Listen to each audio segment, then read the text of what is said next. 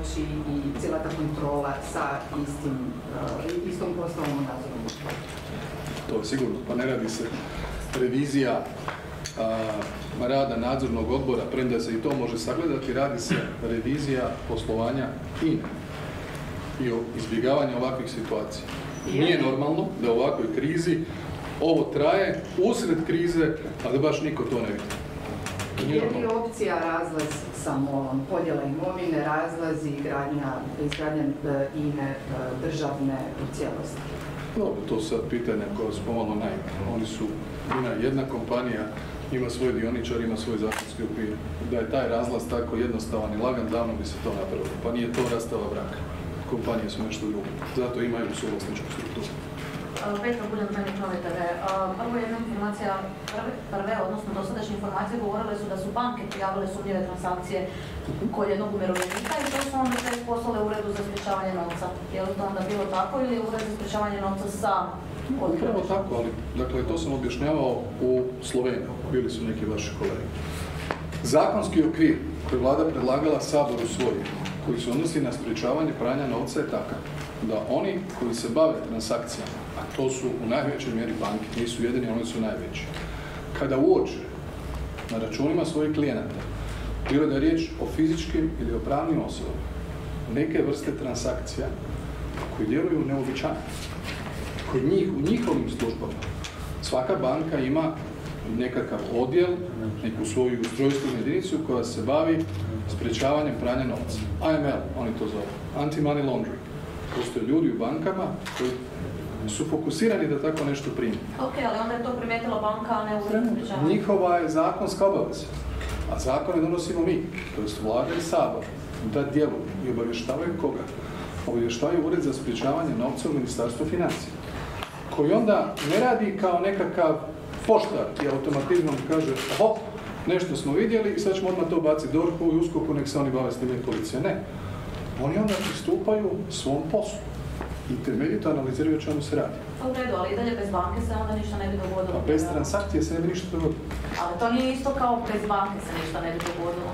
Ali banke rade zato što imaju zakonsku obvezu, a zakonsku obvezu donosi Sabor na prijedlog vlade. Ok, ali ne donosi ured za sprečavanje prava novca kojeg ste izvalili upravo su oni bili ti koji su uočili Pa naravno da nisu. Što želite dokazati? Pa da je bez banke. Da li vi želite dokazati po ovome što je vaša teza obrnuta bi bila, pa mogli su ovi iz u bankama spavati. Šutit i pustiti da se milijoni talože na nečim računima. Ok, ali mogla je porezna uprava primijetiti da netko gomila nekretnine koje apsolutno ne može primijetiti. To je druga faza.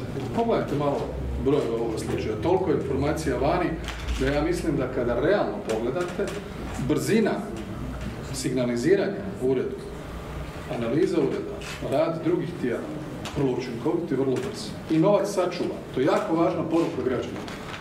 Novac je u ovom slučaju sačuvan. Dobro, drugo pitanje.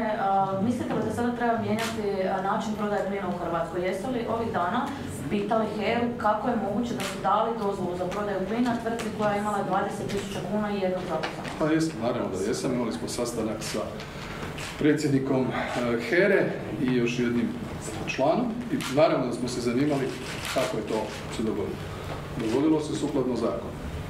Propisi su, propisi su takvi da oni koji se žele baviti trgovanjem plina moraju ispuniti određene administrativne kriterije i kad se neko tek prijavljuje, registrira, dobija odobrenje, onaj ko to analizira, gleda da li su ispunjali formalni uvjeti, ne vide što se zbiva kasnije. To kasnije se zbiva, ako se zbiva nešto loše, da druge institucije koje postoje u svim državama, to u našoj, reagiraju upravo ovako kako su reagirali. Mislite li da treba taj pravilnik onda postrožiti, odnosno pravila po kojima se ide dozvolu za prodaju plina? Možemo i o tome razmisliti, ali ono što je mene zanimalo, da li je tu bilo nekakvog pritiska, da li je bilo nekakvog lobiranja, da li je bilo bilo kakvog utjecaja na HERU da se baš to društvo registrira prema ovome što su oni rekli ne. Dakle, normalna rutinska, rekao bih, uobičajena procedura sukladno propisima koji su važeći. Je li vama čudno da nekom u nije zazvonio alarm kada je vidio nekog ima 20.000 kuna jednog zaposlenog prodavao plin? Plin nije baš čokolada da se sve Pa ne, ali, ali oni, vam, oni će vam reći vrlo jednostavno. Trgovina plinom u ovom kontekstu, to je laptop posao. Jedne osobe koja zna što radi. To mi je cijeli point. Vi da biste bili trgovac plinom, ne morate imati firmu od 1000 kuna. A oni su tu osobu plaćali 1200 kuna. Je li logično da osoba koju Pa ne vide to. To Hera ne vidi. Da mislite da treba vidjeti nekoj osobi je došao taj zahtjev na stol? Mislim da se ovdje razotkrilo baš sve.